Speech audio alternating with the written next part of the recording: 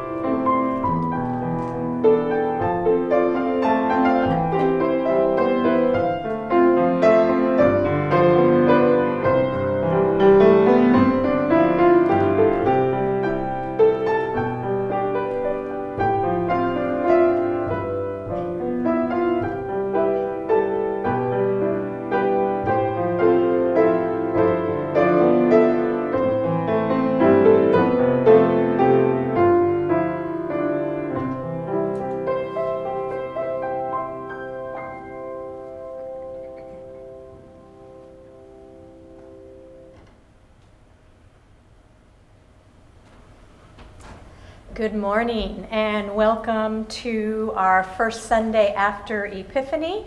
It is nice to see you all virtually and get to listen to your conversations. It's kind of like our little mini coffee fellowship, and it's a uh, it's an enjoyable way to uh, connect with everybody. And Greg, that was beautiful music. Thank you very much. So we have um, obviously our virtual service every Sunday that you might be watching now, or you might be catching us later on YouTube or on the recording. So it is a, again a great way to keep connected to our church family, and I encourage you to keep doing so. We've got some meetings coming up, first ones of the year, so a lot of new committee members. So pay attention to that list of meetings because some of them are this week, uh, especially SPRC is starting off, and next week will be finance and UMW. Week after, trustees, CCN, Ad Council will have their first meeting of the year, and into February, our reopening task force. We've got a couple of mission opportunities that uh, United Methodist Women are involved in that you can be a participant in. One of them is started, um, Cheryl Breitenbucher got this first one going. It is care packages for deployed, specifically female soldiers. So it is an opportunity to send some things over to our um, female soldiers, and those c- can be snacks, um, body scrubs, lotions, hair bands, shampoo, some of those things that uh, we gals like to have. So anything that you would like to um, drop off at Cheryl Breitenbucher's house, her address is in the directory, directory or give her a call to sort of see about uh, connecting up with her. The other care pack, the other um, mission opportunity is Knitters for God's Good Work for baby hats. And um, I have an example here of one of the little baby hats that was knitted before. It's been down on the bulletin board in the, the hallway. But um, if you are a knitter and want to knit some, that would be great. Charlene Dobson's daughter, who is a nurse, makes sure that the hats get into um, the prenatal areas in the hospital. Um, if you don't knit but would like to donate some yarn, that's another opportunity as well.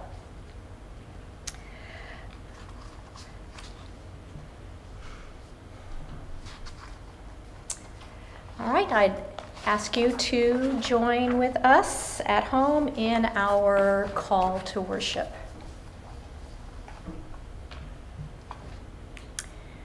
The heavens open, the Spirit descends. Jesus emerges from the water. And a voice echoes through the blue expanse. This is my child, the beloved, with whom I am well pleased. Jesus is named, claimed. We come to the water. We remember we are named claimed. Can it be so? What a thing to be named. Claimed. Let us worship the one who names and claims us still. God of grace and glory, we pray for those who suffer from pains and sorrows. We pray for those whose hearts are broken, families are fractured.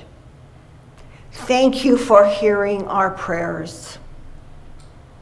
Thank you for pouring out your Spirit on your Son and pouring your Spirit out on us too. May we too hear you say to us this day that this is my Son, my daughter, the beloved, with whom I am well pleased. Amen. Our opening hymn this morning is Morning Has Broken, and delighted to have Larry and Edie leading us through this. Hymn number 145.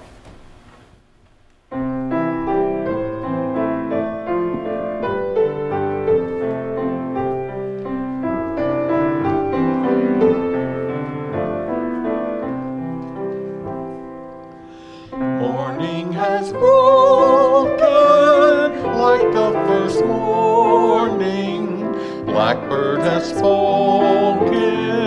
like the first bird.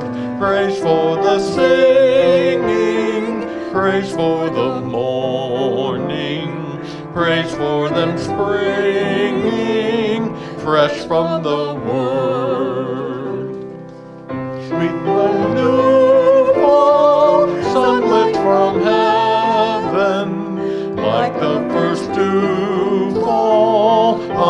First grass.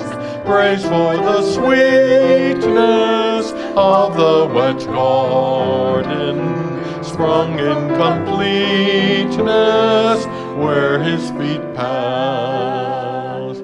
Mine is the sunlight, mine is the morning, born of one long light, Eden saw play.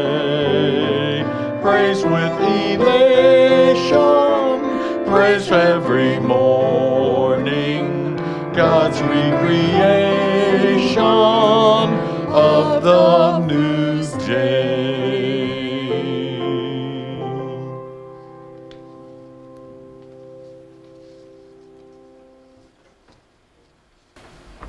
Thank you, Larry and Edie. Beautiful.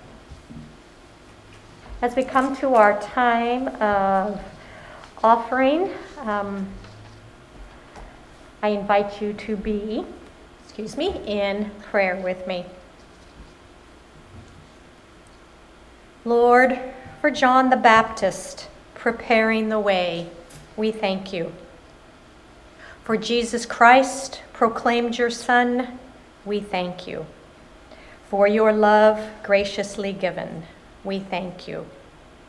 Accept these tithes and offerings we give today as our thank you for your immeasurable blessings. Amen. Praise God from whom all blessings flow. Praise God, all creatures here below.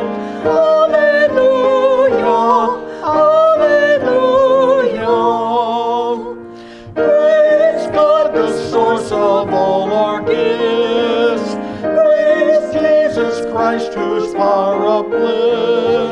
power. Praise the Spirit, Holy Spirit.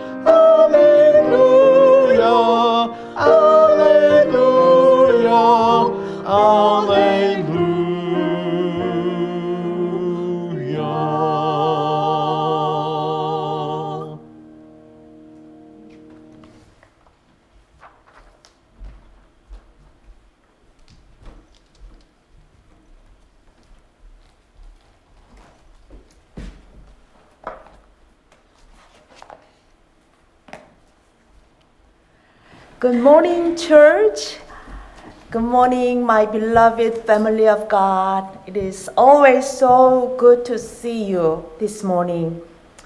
I want to say Happy New Year one more time on this second Sunday.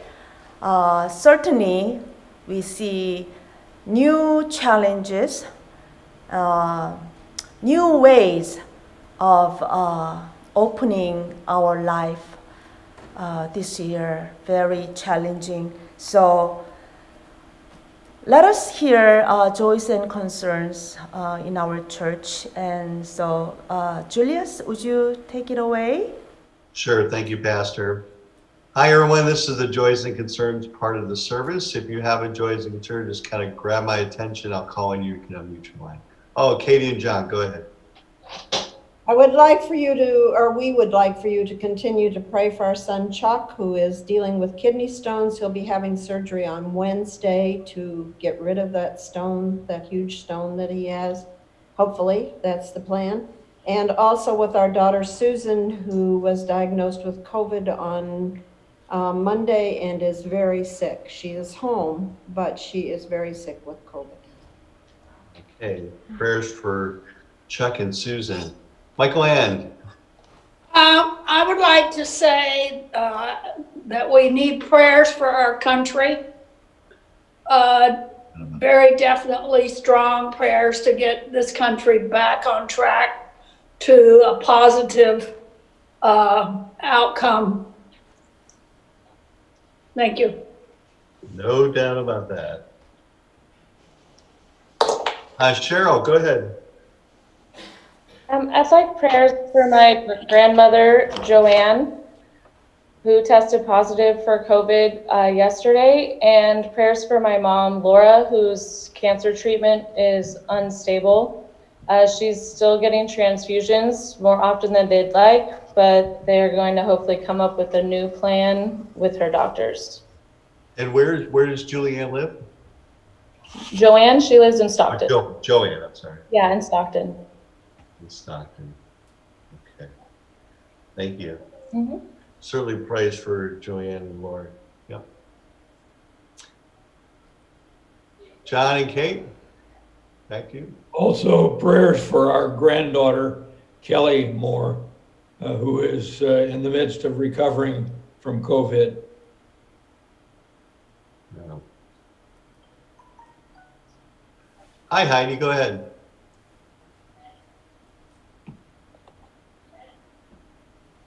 You got to unmute there, Heidi.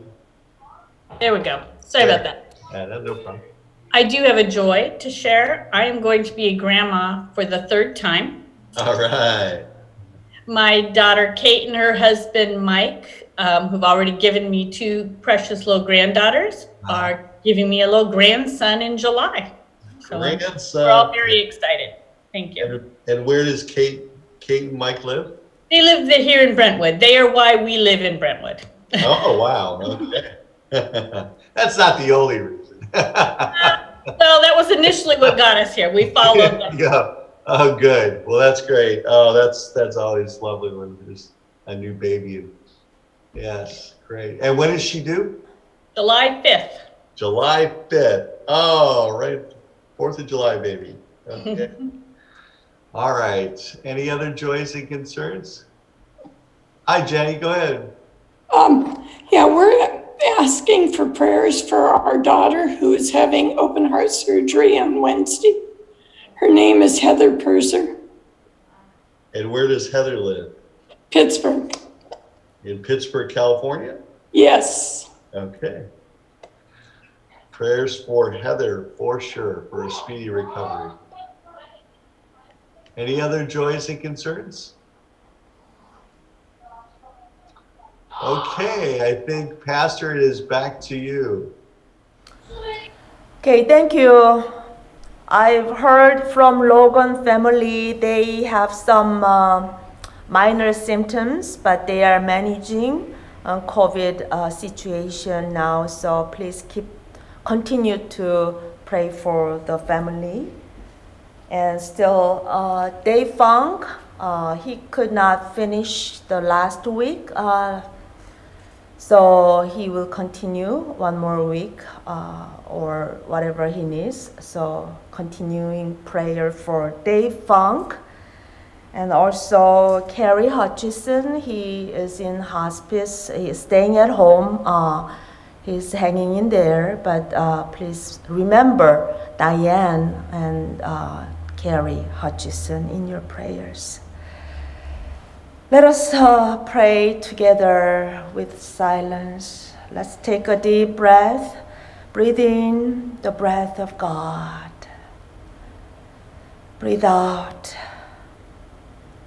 Lord, we love you. Breathe in the breath of God. Breathe out. Lord, we are following you. Breathe in the breath of God. Breathe out. Lord, in your mercy. Let us start uh, lifting up our brothers and sisters as we read these names in our hearts silently for the healing and strength for the sick.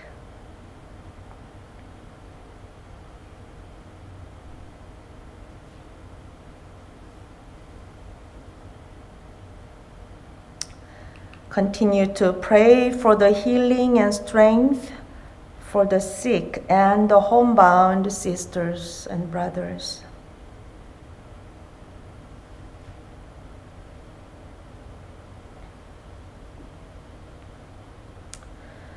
Oh God, we lift up our loved ones for your healing. We pray for Heather, the daughter of uh, Jenny, uh, who is going to have open heart surgery this week. Lord, we lift up Katie and John's son and daughter and granddaughter Shelley for their situations. Lord, we lift up Cheryl's uh, grandma, Joanne, and also mom, Laura, for your healing. Continuing to pray for Dave Funk and Carrie Hutchison. And we give you thanks for the good news of uh, expecting the third grandson uh, in July for Heidi. We pray for healthy baby and safe delivery.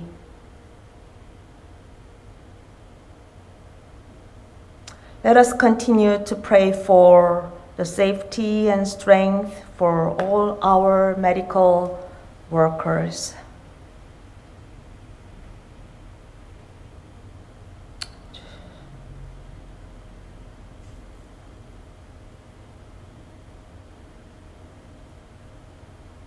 Also, for all the firefighters and police officers, soldiers, school workers, teachers, and uh, parents, and also Hope House volunteers.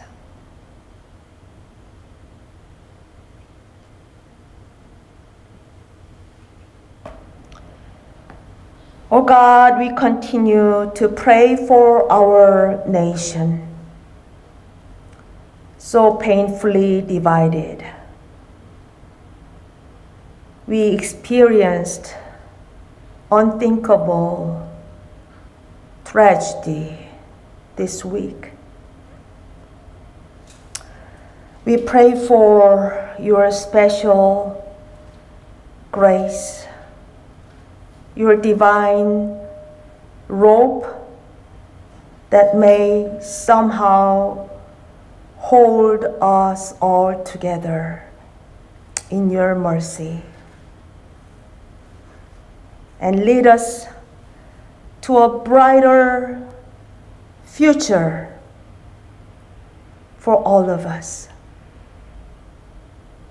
Oh God, help your churches to be more boldly speaking up for radical love and justice and peace, as well as for radical healing and reconciliation in this difficult time.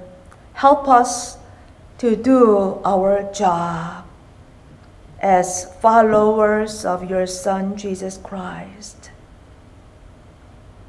Help us to have the love that may conquer hate and darkness. Help us, O God, to understand after so many years as Christians that love means something more, something bigger, something deeper and higher in the face of this moment. This woundedness, polarization, and violence. Oh God, we still do not know how to hold this moment. We only know who is holding us. We are in your mercy, Lord. Help us. Help us, Lord. Hear our prayers. In your Son's name we pray. Amen. Please join me in the Lord's Prayer. Our Father, who art in heaven, hallowed be thy name. Thy kingdom come, thy will be done on earth as it is in heaven. And give us this day our daily bread, and forgive us our trespasses as we forgive those who trespass against us. And lead us not into temptation, but deliver us from evil. For thine is the kingdom and the power and the glory forever and ever. Amen.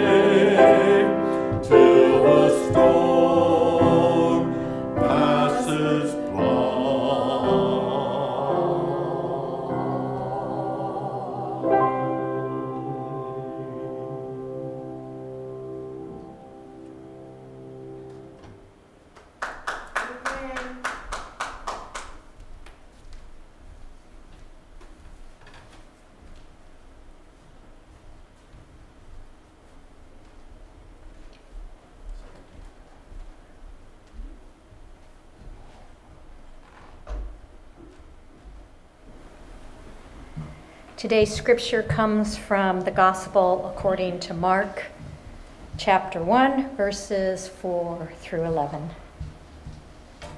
John the Baptizer appeared in the wilderness, proclaiming a baptism of repentance for the forgiveness of sins. And people from the whole Judean countryside and all the people of Jerusalem were going out to him and were baptized by him in the river Jordan, confessing their sins. Now John was clothed with camel's hair, with a leather belt around his waist, and he ate locusts and wild honey. He proclaimed, The one who is more powerful than I is coming after me. I am not worthy to stoop down and untie the thong of his sandals. I have baptized you with water, but he will baptize you with the Holy Spirit. In those days, Jesus came from Nazareth of Galilee and was baptized by John in the Jordan. And just as he was coming up out of the water, he saw the heavens torn apart and the Spirit descending like a dove on him. And a voice came from heaven You are my Son, the Beloved. With you I am well pleased. This is the word of God for all God's people.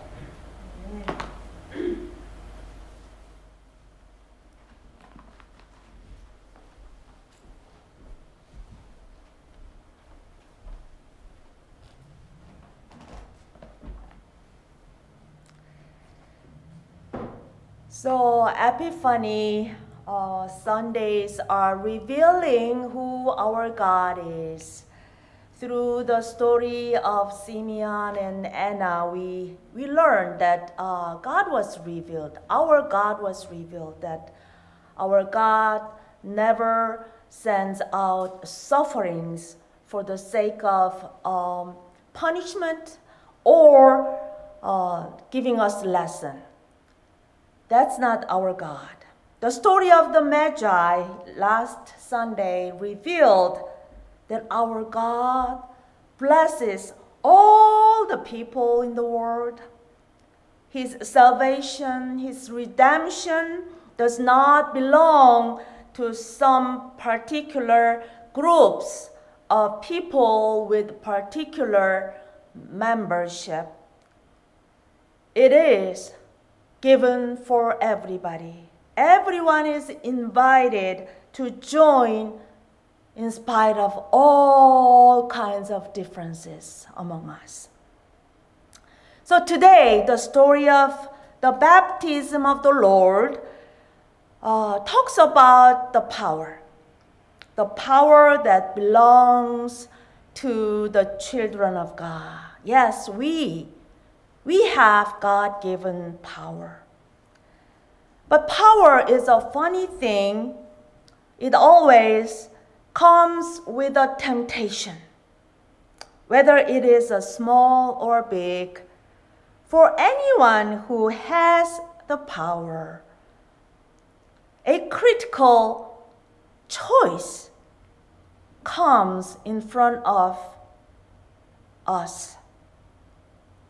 Are we going to use it to serve my own interest or to serve God and His people?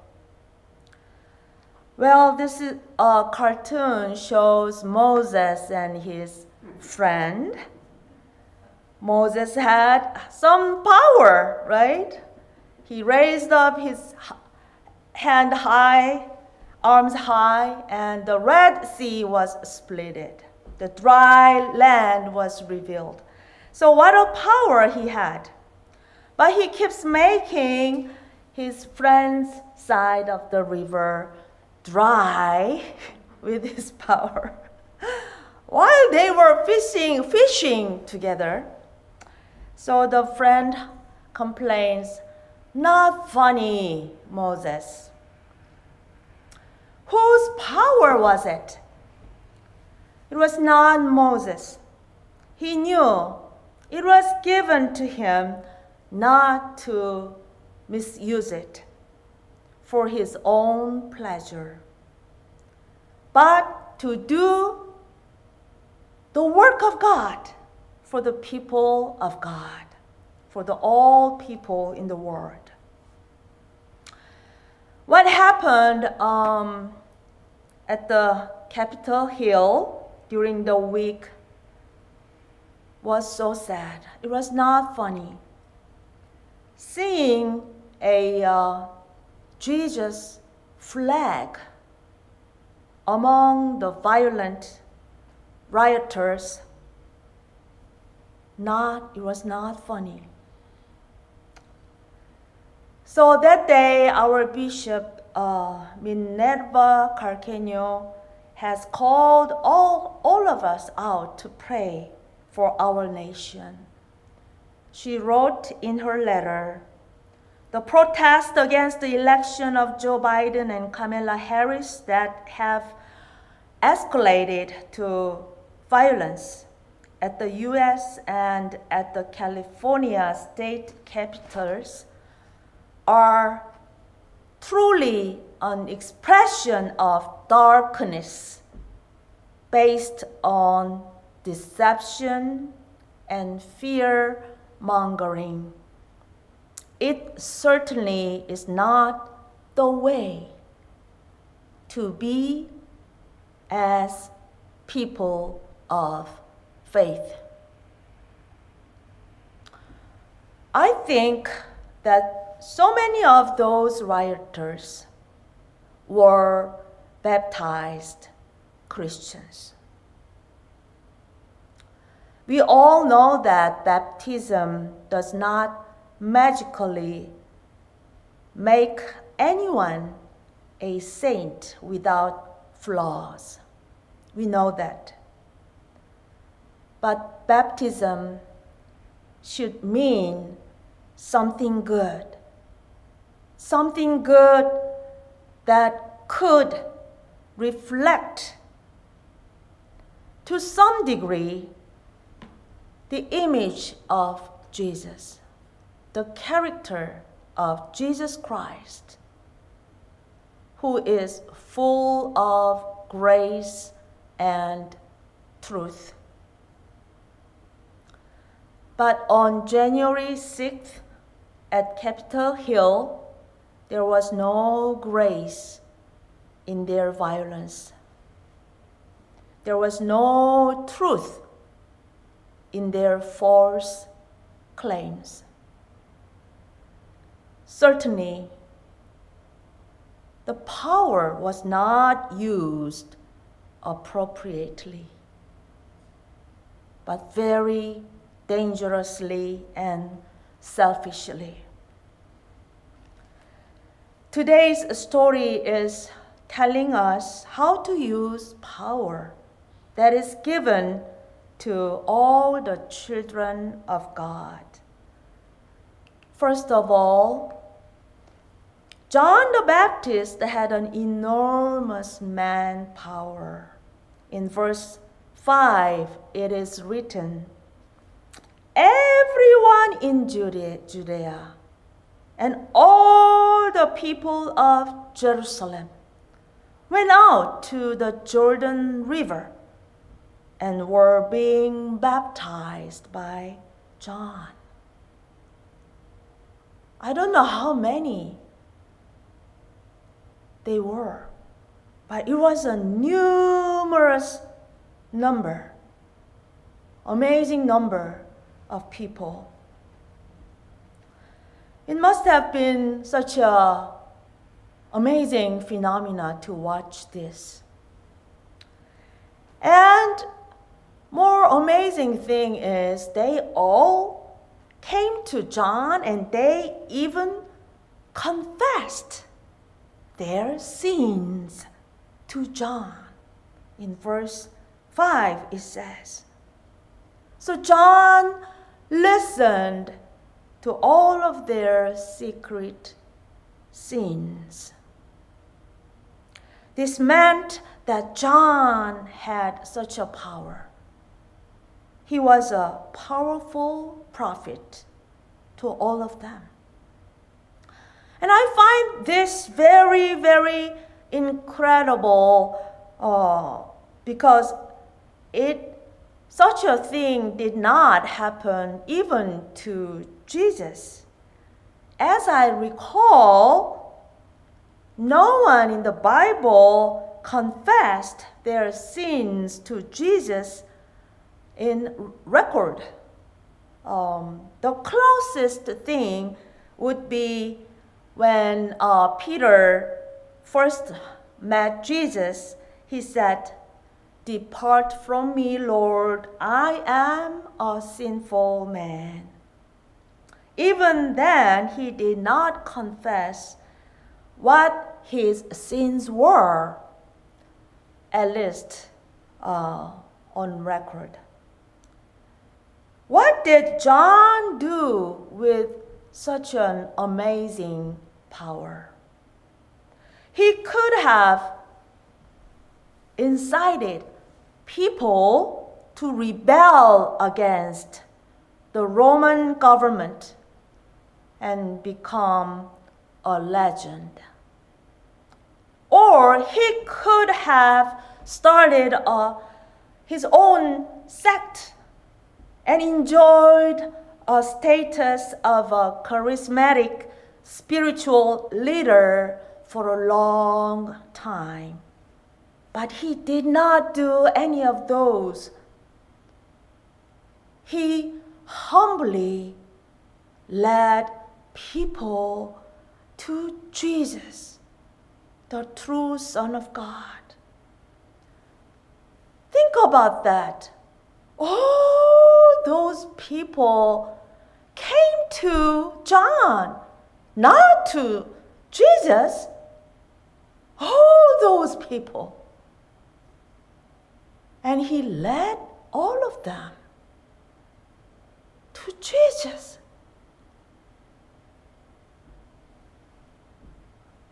Certainly, it, must have not been easy thing to do. He could have fooled people if he wanted by acting like the power was his. The power, all those power belonged to him. But he knew the truth. He knew the truth that his power came from God. It was not his. He knew the truth that his power was not about himself, but about God and his people. How about Jesus? How about Jesus? He himself had even greater power, divine power. If he wanted, he could have started baptizing people right next to John, and more people must have come to Jesus rather than going to John. And Jesus could have gained bigger popularity and power and enjoy the fame. But do you know that he never officiated any baptism? Not even one. He knew that his baptism line, okay, so there will be people, a group of people who would claim that I was baptized by Jesus. So I have more authority. I should have more power. So he, knew that his baptism line would cause division among his followers. You know, later, the Apostle Paul, he, he remembered that. So he said, he, he, Apostle Paul did not baptize anyone except two in uh, the first Corinthians chapter 1 verse 14 he said I thank God that I baptized none of you except Crispus and Gaius, so that no one can say that you were baptized in my name. The power of officiating baptism could have really uh, brought a big division in the church from the beginning. But Jesus did not even try to do that. So sometimes what people do not do, what someone does not do, can tell more clearly about who that person is, what kind of person that is. So instead of taking advantage of his divine power, Jesus volunteered to be the one who received willingly the gift of baptism, even though he knew he had no sin. He lowered himself to be the one who received. By doing it, Jesus honored the ministry of his predecessor, John the Baptist. Jesus showed that we do not have to be the shining star on the stage, even when you know that you have bigger power than the one who is on the stage. He simply became a participant. By doing it, we can enrich the meaning of a collective ritual like a baptism. Jesus simply participated in the baptism. By doing that, he revealed the fuller meaning of the baptism. So we know that John's baptism was about confession of sins, forgiveness of sins. But when Jesus came out of the water, the heavens torn apart and the Spirit descending like a dove on him, and a voice came from heaven You are my Son, the beloved. With you I am well pleased. So Jesus revealed that the baptism is not just about the forgiveness of sins, but also it is about the restoration and affirmation of your identity as God's beloved sons and daughters. So even after our sins are forgiven, we, we have desire. We have a, a, this urge to know whether we are still being loved by God, even after our sins are forgiven. That's a big problem. When you make a big mistake to somebody, you, if you cannot um, do anything to repair or uh, to, uh, to pay back uh, because you don't have um, money or something, then you, you ask somebody who has money, your sponsors, and they can help you. So maybe uh, financially it could be uh, okay, but you still, you still know that you want to know whether your relationship with that person is okay. Is it, uh, can it be restored? That is a big question to all of us. So, Jesus said, it is, a, it is not just about the forgiveness of sin. It is about the restoration of the relationship. The Father in heaven, does He still love me? So, our Lord Jesus, by not taking advantage of his divine power, but rather by humbly, humbly going down into the water, he served God and revealed the truth about God's love, unconditional love toward all of us. Both Jesus and John, by using their God given power in the right way, they began a God's kingdom movement in which every power would serve the truth, God, and His people. God has given all of us many, many kinds of power. We need to start using all those powers in Christ like ways. About 25 years ago, um, I served uh, churches in Northern Illinois Conference. Uh, there was a Korean pastor who was appointed to a very conservative and very uh, big and proud congregation in the south side of Chicago.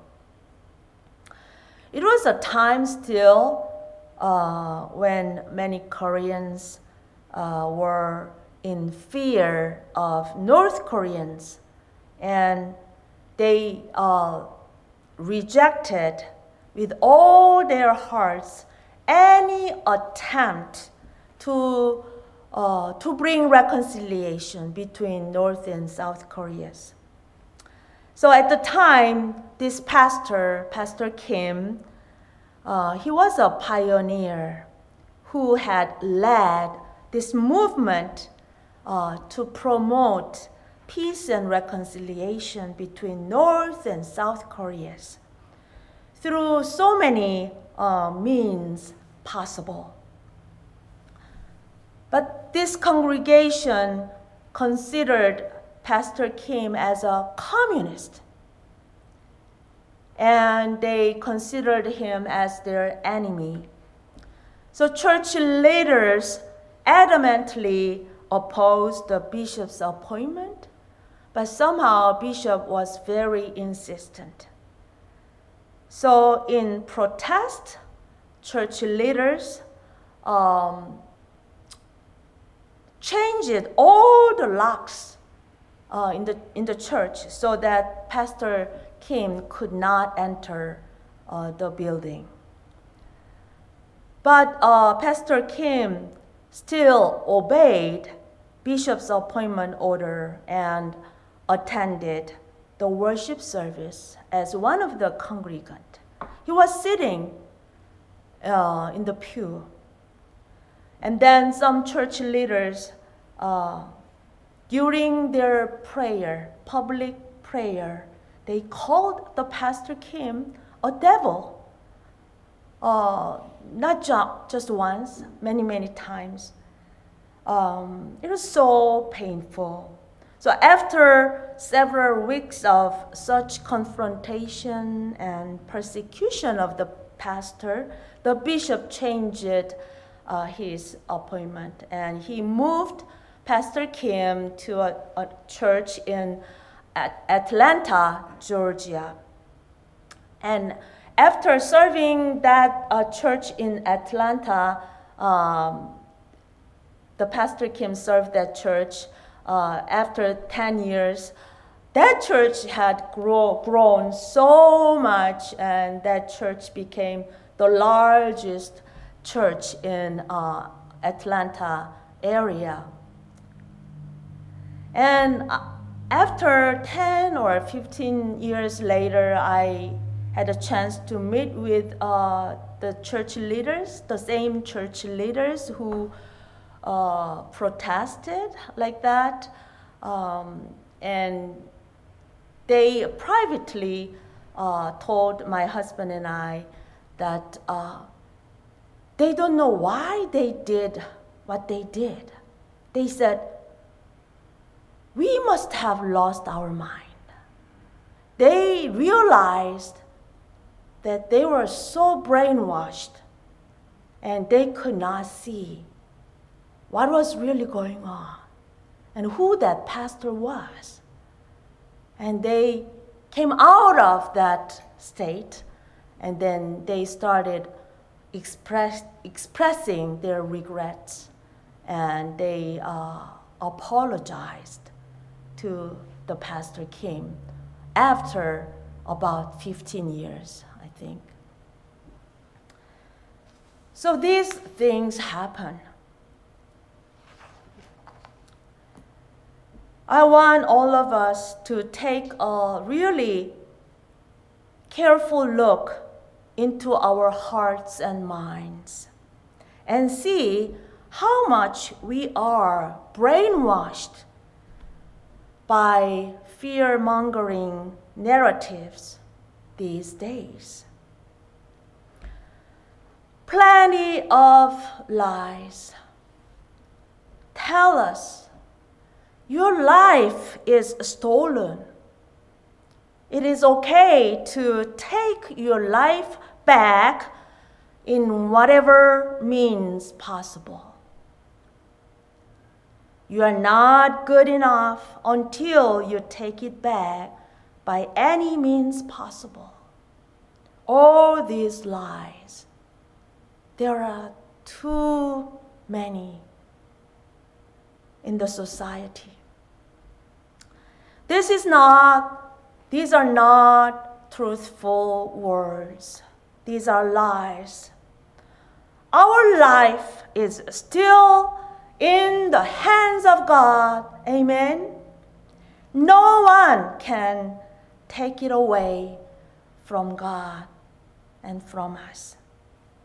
So I hope and pray that we all may hear the truth from the heaven as Jesus heard it 2,000 years ago you are my beloved, with whom I am well pleased. So be relaxed. Do not be afraid. You are enough. You are okay.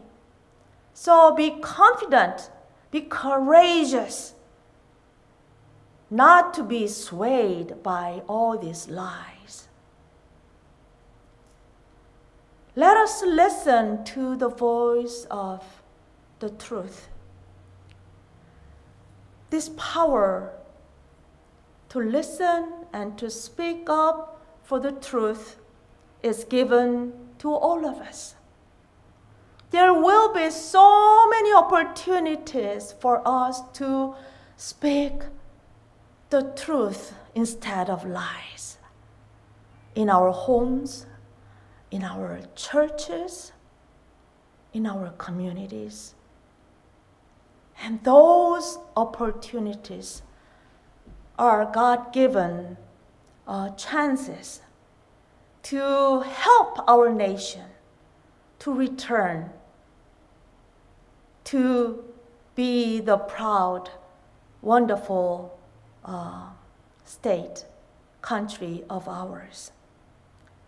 So let us keep remembering our baptism and keep remembering what God is claiming on us.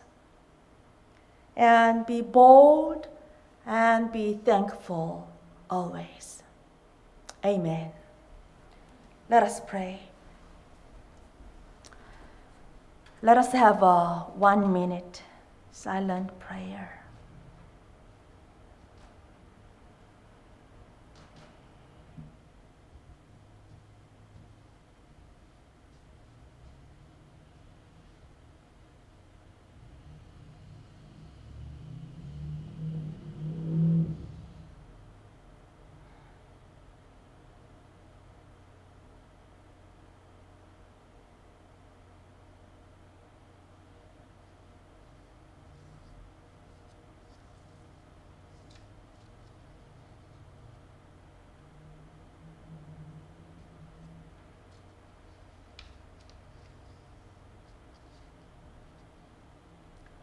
O God of grace and truth, help us to be your, your lips, your hands, and your feet that are working for your kingdom so that we can serve you and your people each day with all the opportunities that we receive. In your Son's name we pray. Amen. Let us join in the closing hymn.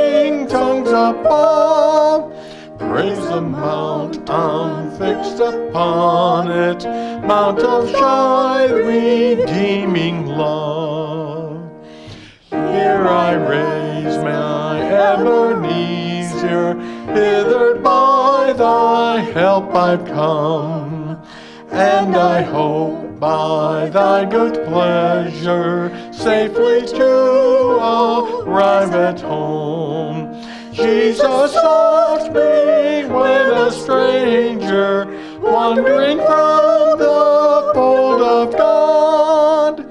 He to rescue me from danger, interposed his precious blood. Oh, to grace, how great a debtor, daily unconstrained to be. Let my goodness, like a fetter, bind my wandering heart to thee. Prone to wander, Lord, I feel it, prone to leave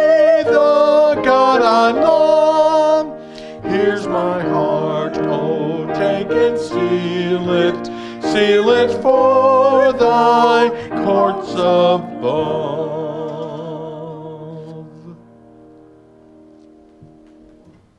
Brothers and sisters, let us keep praying for our nation. Let us keep loving one another as our Lord Jesus Christ has loved us.